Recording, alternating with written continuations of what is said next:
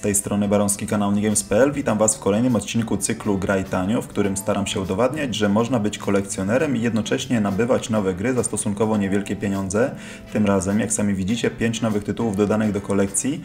Akurat tym razem nie są to może tytuły jakoś szczególnie tanie, natomiast są to hity, które już od dawna zamierzałem dodać do swojej kolekcji. Jeden wyjątek to Final Fantasy VII, który wprawdzie już miałem w swoich zbiorach, natomiast były płyty nieco porysowane, no i zdarzało się, że filmiki przerywnikowe po prostu zarywały, więc postanowiłem sobie odkupić ten tytuł praktycznie w idealnym stanie. Zatem na ten tytuł wydałem stosunkowo spore pieniądze, bo jakby nie było 89 zł, to jest sporo jak na ten cykl materiałów, który Wam prezentuję.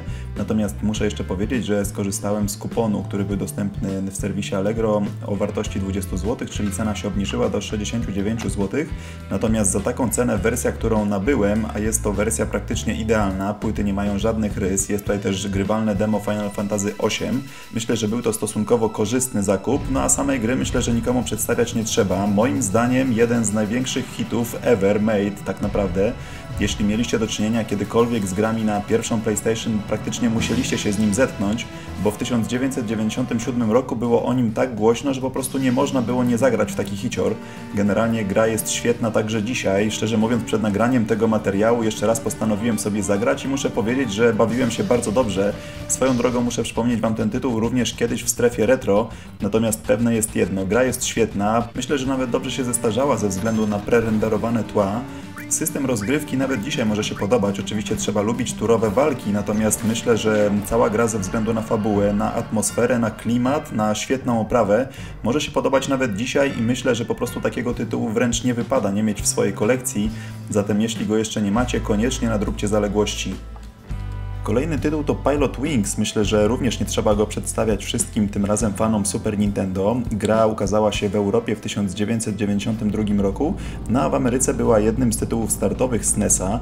Mieliśmy tutaj do czynienia ze specyficznym symulatorem lotu, w którym mogliśmy polatać tak naprawdę różnego rodzaju maszynami, zresztą nie tylko, bo można było chociażby polatać samolotem, można było skoczyć ze spadochronem, czy też polatać na lotni.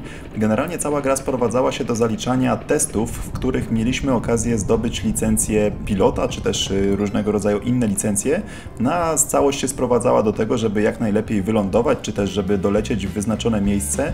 No i gra korzystała ze specyficznego trybu Mode 7, z którego zresztą korzystał kolejny tytuł, który chcę Wam zaprezentować, czyli F-Zero. Chodziło tutaj o to, że wybrane pozycje na SNESa korzystały ze wspomnianego trybu, no i tym samym mogły imitować niejako oprawę graficzną w trójwymiarze. Oczywiście SNES nie był systemem, który umożliwiał w pełni trójwymiarową oprawę graficzną, natomiast dzięki tego typu sprytnym sztuczkom Super Nintendo szokowało graczy, no i myślę, że przyciągało kolejne miliony fanów. F-Zero zresztą był świetnym tytułem, był tak naprawdę początkiem dla futurystycznych wyścigów, na które później zapanowała moda. No i myślę, że dzięki świetnemu gameplayowi, dzięki wysokiemu poziomowi trudności, ale też uczciwemu poziomowi trudności, myślę, że gra zasłynęła i e, nieźle się zestarzała. Trzeba przyznać, że nawet po wielu latach od premiery gra się w nią naprawdę dobrze. Zresztą podobnie jak w Pilot Wings, te tytuły naprawdę się nieźle zestarzały. No i myślę, że dzięki właśnie wspomnianej obsłudze trybu Mode 7, który trochę imituje nam trójwymiarową oprawę graficzną, graficzną. Jeszcze słowo na temat cen, mianowicie Pilot Wings zakupiłem za 35 zł, natomiast F-Zero za 25, no i jeszcze skorzystałem z kuponu promocyjnego na Allegro, co mi dodatkowo odcięło 20 zł z ceny, zatem myślę, że 40 zł za oba tytuły to jest bardzo przyzwoity pułap. Kolejnym tytułem, jaki chcę Wam zaprezentować jest kompilacja drugiej i trzeciej części House of the Dead z podtytułem Return, która okazała się na Wii. No i szczerze mówiąc, w swoim czasie nie zbierał ten tytuł może jakichś tam super wysokich not, między innymi ze względu na to, że Sega skonwertowała te tytuły trochę po najmniejszej linii oporu. Nie mieliśmy tutaj do czynienia z żadnym odświeżeniem pod kątem chociażby oprawy graficznej. No i jeśli pamiętacie erę Saturna, no to House of the Dead 2 prezentował się już na tamtej konsoli wcale e, nie najlepiej pod kątem oprawy, natomiast na Wii już straszył, można powiedzieć, swoim poziomem oprawy. Natomiast myślę, że fanów celowniczków to nie odstraszało, no i gra prezentuje niezły poziom nawet dzisiaj. Trzeba oczywiście przymknąć oko na wspomnianą już oprawę graficzną, natomiast trzecia część, którą znamy już m.in. z Xboxa, wcale tak źle się nie prezentuje.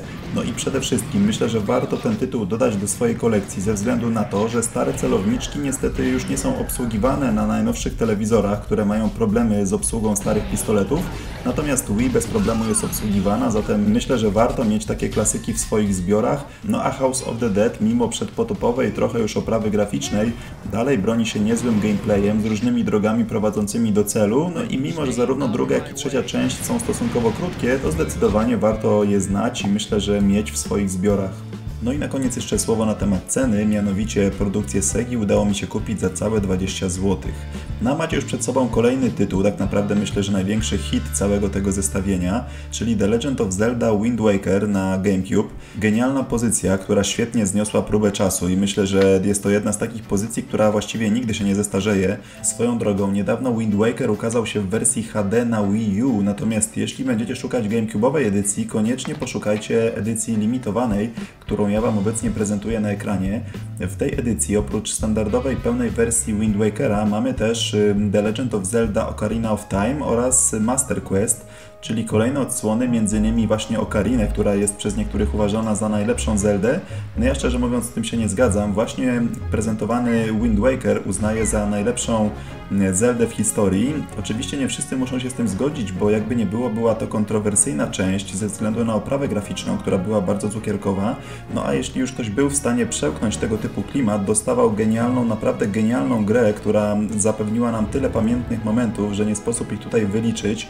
Generalnie cały tytuł był świetny i to nie tylko ze względu na wspaniałą oprawę graficzną, dzięki której gra wyglądała niczym e, grywalny, animowany film, ale też właściwie ze względu na całą resztę. Tutaj właściwie trudno było przyczepić się do czegokolwiek. Pamiętne lokacje, wspaniały klimat, genialna nowa mechanika pływania łodzią, czy też pamiętna muzyka. No generalnie całość była po prostu niemalże perfekcyjna i w pełni zasługiwała na ocenę 10 na 10. No a w międzyczasie mogliście jeszcze oglądać skrawki gameplayu z Okariny, która również jest właśnie dołączona do tej limitowanej edycji. Moim zdaniem tytuł dosłownie obowiązkowy, który trzeba mieć, no i mi się udało go wylicytować za cenę 62 zł 11 groszy, z czego zresztą byłem bardzo zadowolony, bo już na chwilę obecną bardzo ciężko jest tego typu pozycje dostać za mniej niż 100 zł tak naprawdę. Gry na GameCube są coraz trudniej dostępne, no i myślę, że jest to ostatni dzwonek dla tych z Was, którzy chcieliby uzupełniać swoje kolekcje. No i w ten oto sposób dotarliśmy do końca kolejnej edycji cyklu Graj Tanio. Mam nadzieję, że bieżący odcinek się Wam podobał. No i napiszcie oczywiście jak zwykle, jak wspominacie wymienione tytuły, czy również darzycie je takim sentymentem jak ja. No a ja będę już powoli zmierzał do końca. Niebawem dostarczę Wam kolejny odcinek, który już się właściwie przygotowuje, zatem bądźcie w kontakcie. Dzięki za uwagę i do usłyszenia niebawem.